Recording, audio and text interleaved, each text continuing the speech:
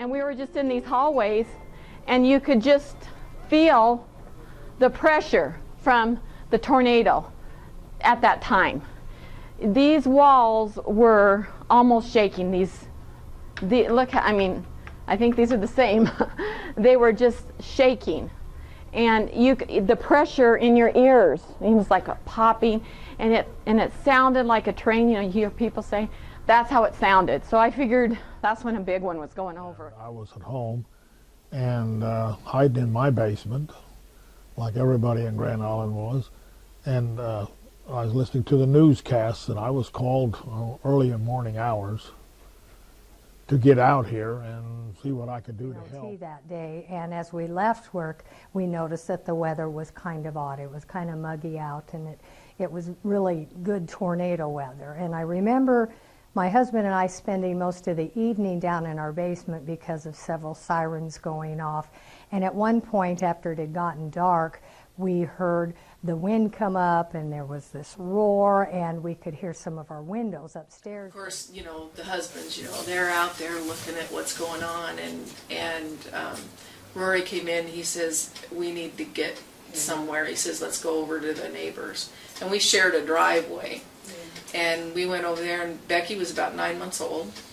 And we went down to the basement, and the guys were up there for just a little bit, and then they, you could kind of, it's like you could feel it. Mm-hmm. It was just a, this rumbling, and then they came running down the stairs. And I had Becky in my lap, and I was over like this, and Rory came right over the top of me, and he, he just said, "Honey, I, whatever happens, I want you to know I love you." And I said, "Well, what's the matter?" And he says, "This is going to be bad." At that time, we didn't have all the equipment that we have here. Uh, fortunate to have the weather radio, the televisions, um, all of the different PBX things.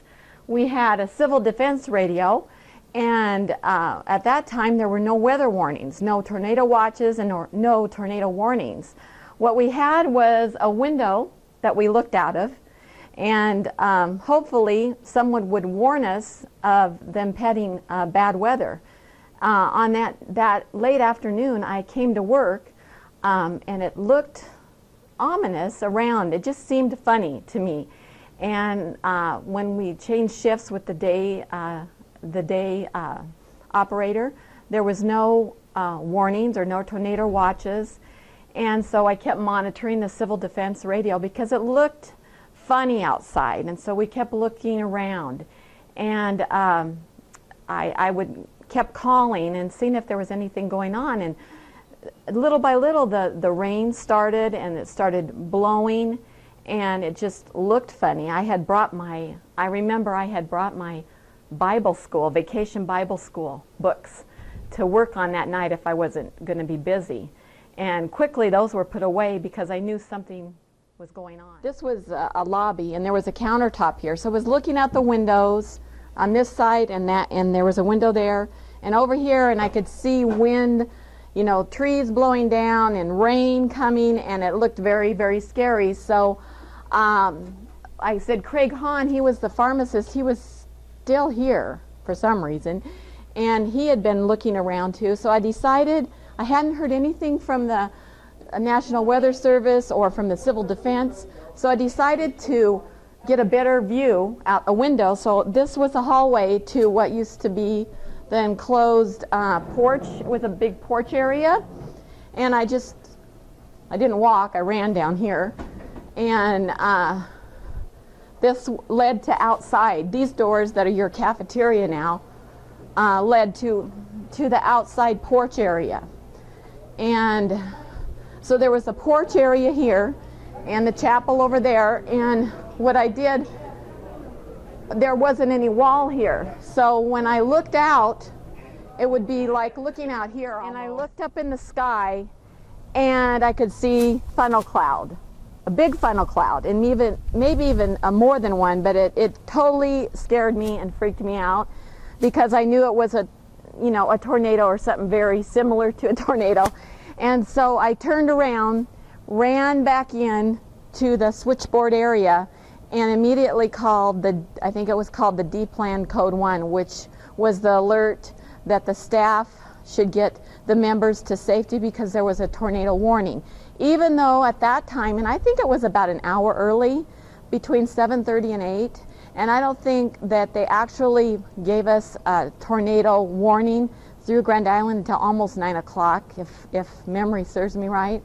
But I, I sounded the alert Code early. Rescue to the Liberty Cafe. There you go. Code Rescue to the Liberty Cafe. Kind Code Rescue to the Liberty Cafe. there's a code, different code. At that time, it was D-Plan Code 1 and uh, alerted all the, the people to get the members to safety. Um, and at that time, like I said, I think I said before, it was a scary thing for me to do, only because it was scary, but I, you know, I, I wasn't supposed to do that unless I had confirmation through Civil Defense or the National Weather Service. But I knew that something was going on. And besides that, I could hear the sounds. I could hear like a train, and I know that was a sign of a tornado. And when I ran back in, you could feel you could feel tons of pressure already, and, and they hadn't even hit yet.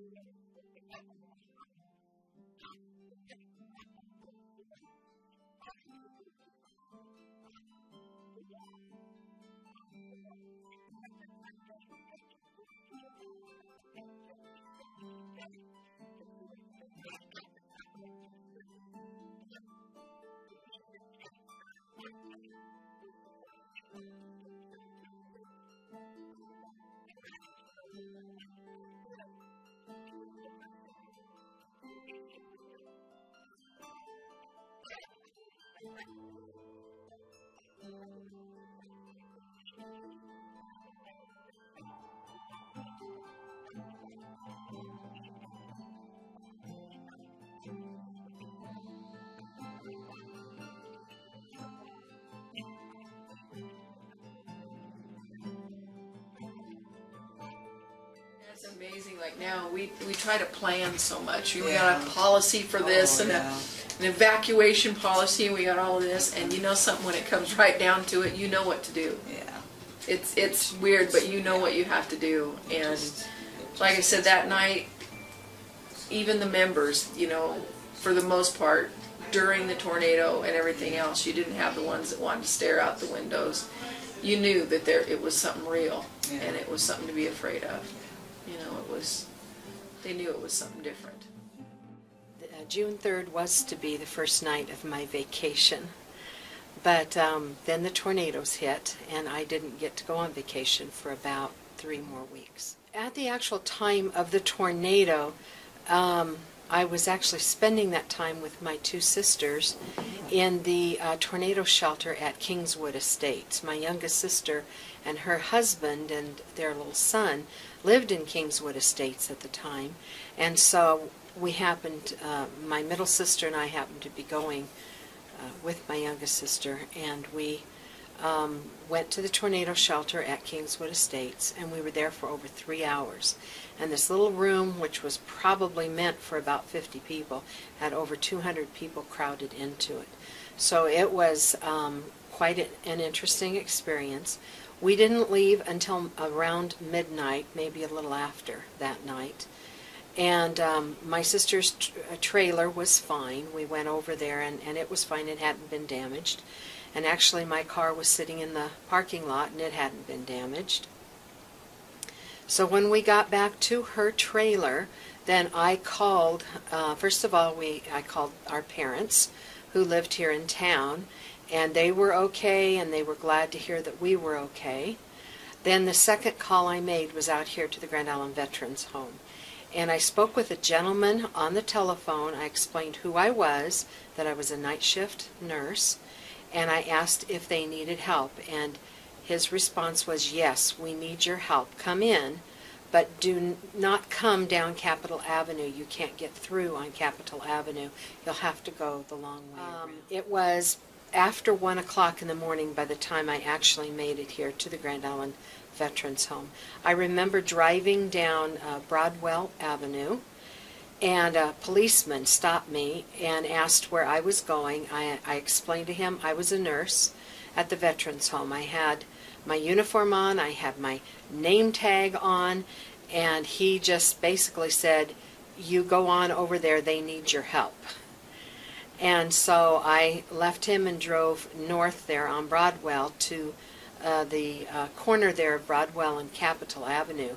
And the light fixtures, the poles, the uh, electrical wires were basically hanging down. The poles were bent and the light fixtures were actually hanging down.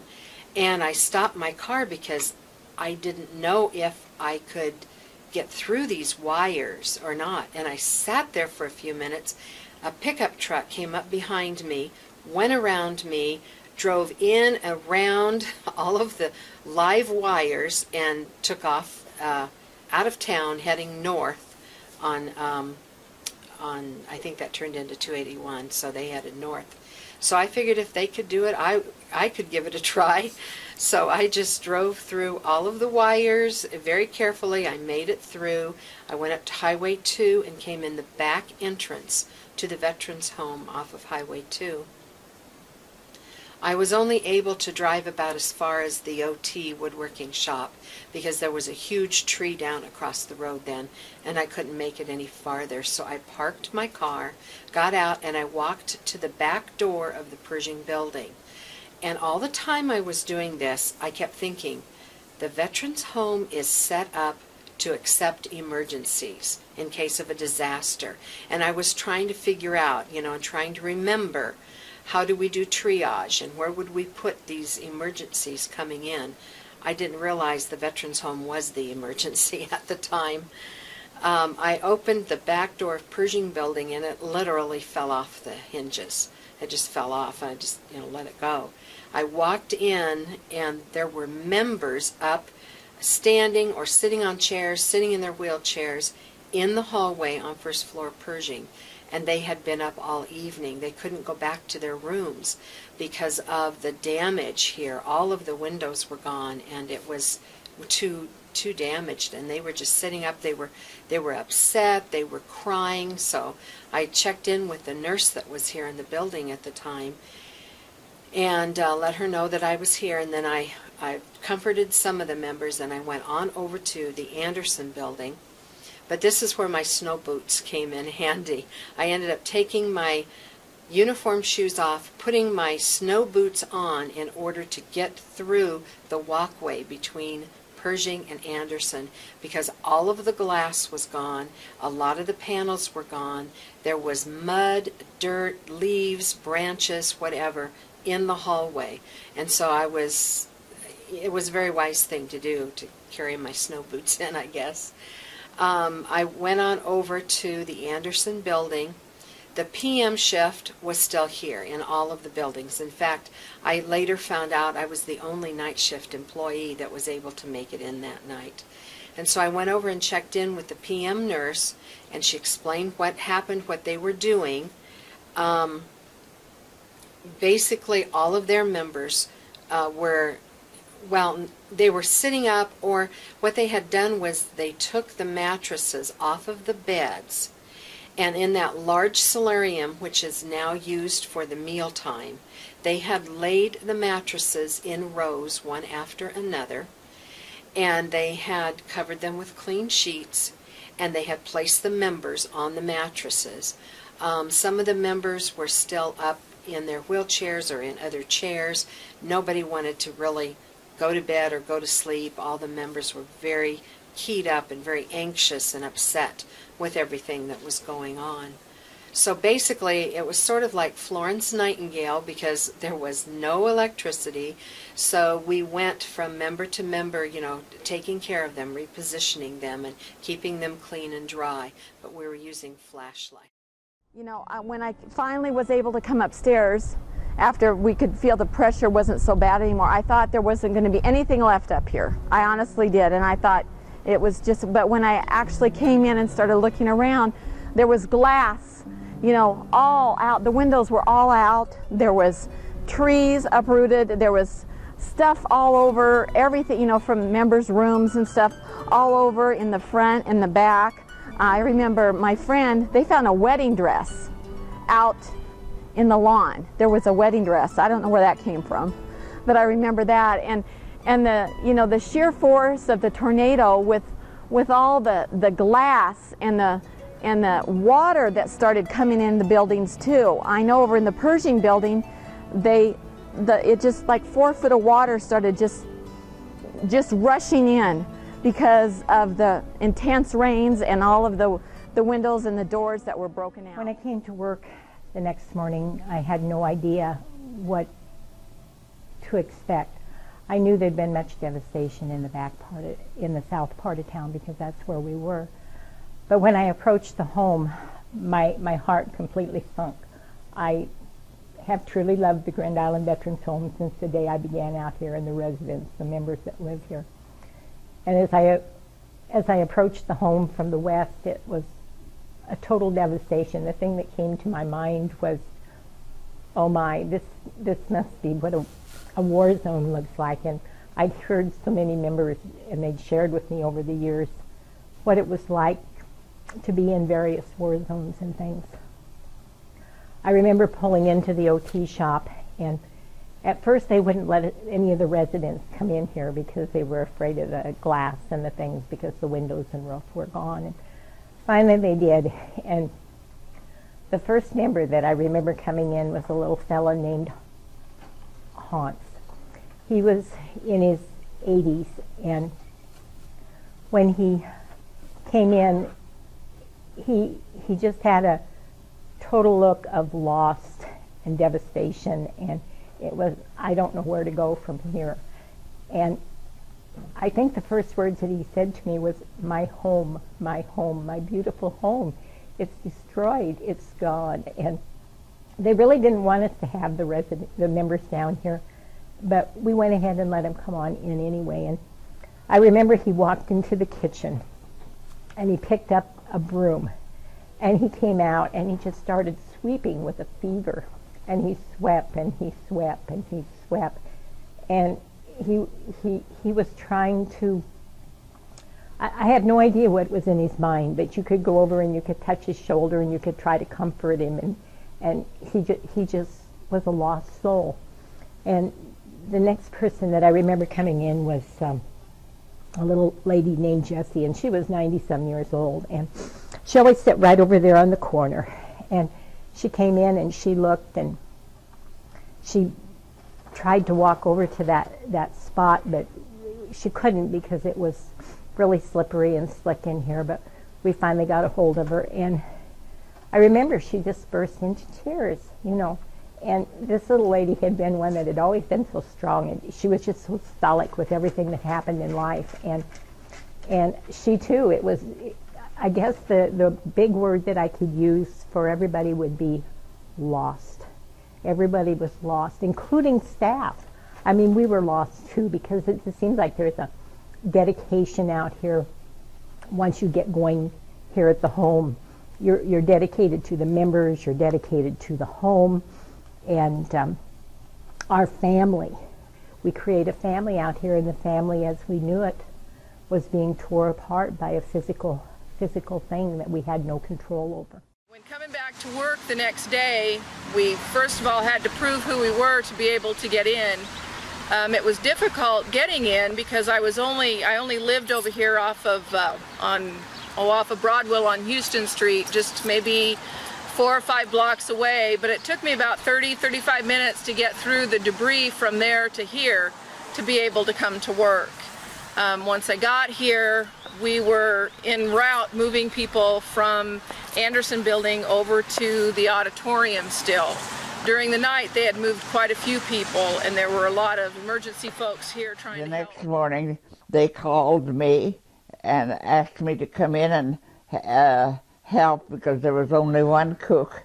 I, it, it might have been Marvel Hoover, I'm not sure, but uh, she needed help, so I went in uh, I and my daughter walked over because there were so many trees uh, down that you couldn't get through uh, with a vehicle at all.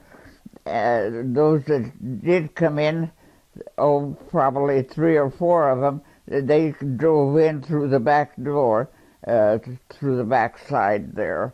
And uh, the only thing I can remember that we actually did was we made sandwiches. We didn't have any electricity there, so we uh, had to make sandwiches and uh, use that to feed the members, and they were glad they got something to eat. Here in the OT craft department, I could see that part of our roof had been taken off uh, the tar paper was actually laying over in the courtyard. And when I got inside the department here, uh, we actually had sections of the roof that had uh, been lifted up and shifted. And so as I walked into the back of the building, of course it was kind of dark yet, there wasn't any electricity. But as I made my way back here to the greenware room, because of the rain and debris and stuff that had come into the greenware room here, we had what looked like a mudslide. The clay pieces had gotten wet, had melted, and run down. Um, I had, was stopped on my way into work by the National Guard and told to hurry up and get to work because I was needed there. As I come around behind the veterans home, uh, the curtains, all the windows were busted out, and you could see curtains flying in the wind. Uh, there was no windows. Um, you know, broken glass was everywhere. Um, I expected to see, you know, bodies and all kinds of, of chaos, but um, no lights. Uh, we, I think the generators had kicked in by the time I got here, but uh, the elevators were shut down, of course, and a lot of broken glass everywhere. Um, they had um, uh, no members were injured, though. We did have uh, one one female member that had gotten hit in the head with a rock that came through the window and had some stitches, but everybody else was in very good shape uh, for, for the condition the property was in. Uh, out front, the trees looked like they'd been picked up and set on their side. You could just see, you know, huge roots sticking out of the bottom of them. Um, some were split right down the middle. Um, I remember coming over to administration building, and these every one of these uh, big windows were busted out. So we did a lot of cleaning up glass and things like that that first uh, that first morning, trying to um, just make it a safe environment to even you know to work in. Uh, the, it looked like a battlefield out here, like something bombs had been dropped. Everything was tore up. And got out here, and uh, I guess we did a little bit of everything. Just kind of pulled things out of the way, and uh, got on the phone that morning, and we tried to get uh, contractors and people to come in and help us. And that was one of my jobs too, is to try to get help uh, lined up. Uh, it's kind of everybody was running in all directions. The next morning, um, our administrator at the time and a day shift nurse and I met. And we ended up meeting every morning for about half an hour uh, to see what had happened through the past, the previous 24 hours, and how we could handle things. So um, the three of us met several days then um, that week. Um, I would come in to work in the evening, probably sometime between 7 and 9 p.m., and I would uh, not leave until around 9 the next morning or so.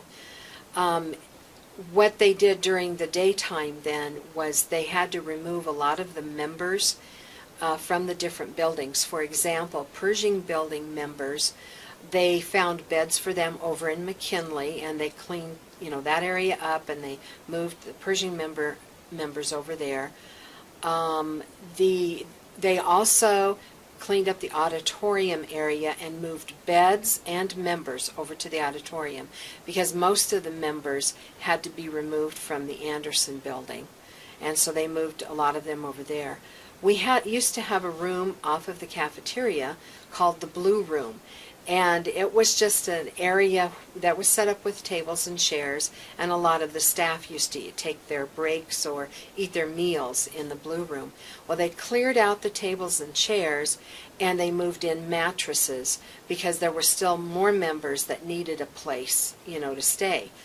And um, there were probably 25 30 members in that small um, pretty much to be able to provide care while we were over in the administration building.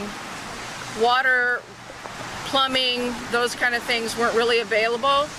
Um, for toileting, we had um, in the back there was like a storage room and we had um, like portable potty chairs set up back there and they had plastic bags in them and that's what we had to use to get people to use the toilets we use like baby wipes and those kind of things to to use for cleaning and, and that kind of stuff. Um, the kitchen was able to get water from like the Red Cross and I believe we had a well or something that they were able to at least warm up some water that we would bag up and keep, you know, for like bed baths or just little freshen up baths. Um, all of our food and everything came over on a cart, but it was all served on paper plates, plastic, anything that was um, disposable. It was kind of like the old pictures of an army barracks where there were just beds lined up everywhere because we didn't have, the auditorium's just one big room. For those members that had family that could, they came and got them, but that was only after um, several days when outs, people from outside of town could come into town. was over us was on vacation, so I had to take over as the head man. And all the guys was working with me. The first thing we done was try to clear all the sidewalks so that everybody could walk. And of course, we had people coming in from all over working with the trees. We had a lot, a lot of the trees were down, and, and uh, but we had a lot of help come in and got the trees and out. And, and the administrator, he he didn't think we should do all that because he thought we should keep it there at the home. We didn't have no thing, you know, we didn't have nothing to do with but the home, you know, the trees and that. And so uh, they finally started taking them and, and getting them out. One night, the aide that was over there called me and she said, You need to come. I have a very upset member here.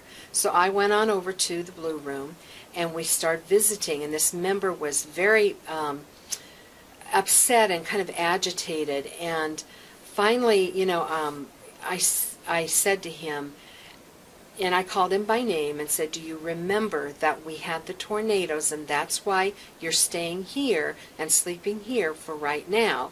We'll get you your room back as soon as we can. And he looked at me and with tears in his eyes, he said, Do you mean that wasn't a bad dream? Every one of us that was working remembered picking this rock up and throwing it away. But every, every time we turned around, this rock would be there. Now, I don't know if there was a phantom in here or what, but this, this, this rock, and we knew it had to be the same rock because the formation of it is um, quite, quite different. So it wouldn't be like we could just go get a rock. Well, where this rock came from was this, the roof, because the roof of this building had rock on it. And when you would look out the window, the roof was over there, but this one crazy rock was here in the building. And you'd trip over it, or you'd start sweeping something up, and this rock would, would just appear. So finally, we uh, called it our pet rock. Now, I see there's a lot of red stuff on it, and I'm glad it's not blood, but anyway, I wouldn't be holding if it was. But um, we finally uh, named it our pet rock, and it's hard to believe that this pet rock has been around ever since that time. And I know I no longer work in the I no longer work at the Grand Island Veterans Home. I've retired, but I know that every time I come down here to the uh, occupational therapy department, I go over there and I pull that uh, drawer open, and I look because I say, well, I just want to make sure that our pet rock has not left us. And you know, I think sometimes this rock is kind of an example of the strength and the courage and the faith that the members and the staff and the community, because the community was trying to, to get back together at the time. But I think that this rock kind of is a representative of uh, what a strong facility we are, how strong the, resi- the members are that come here to live, how tr- strong the staff is, and how strong our faith is.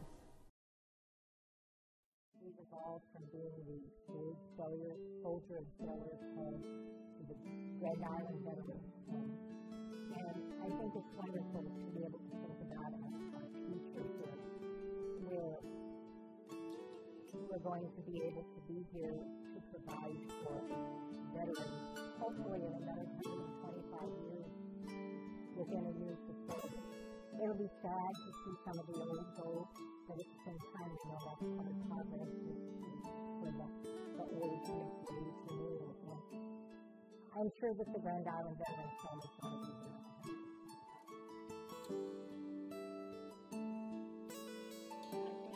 try to stay competitive um, as far as, you know, keeping private rooms and, and minimizing the, the um, amount of uh, moving around of members and, and trying to stay with the private sector, you know, what's, what's available out in the public. Um, we see more people that are taken care of in home health settings. So by the time they come to us, they can be. Um, sometimes they're, they're not here long before they pass away. So I think that kind of steps up the amount of care that we give because they're, they're already pretty compromised when they, when they get here. Um, I look for, you know, seeing younger um, members come in um, from, you know, from Iraq and those things. And I think we'll start seeing some younger uh, whose needs will be much different than, you know, the geriatric public that we've, we've taken care of years, um, for years and years. I think the home offers a wonderful variety of activities and, um, different nursing challenges that they can uh, take care of any medical needs and any, you know,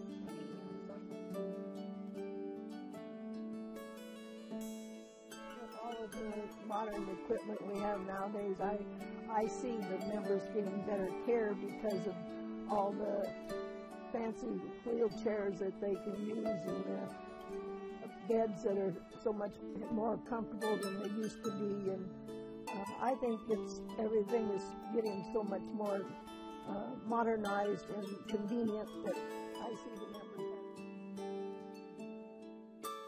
I feel the future should be a lot like the past. We need to take care of the veterans. Uh, when they're in need and uh, disabled, they need a place to go.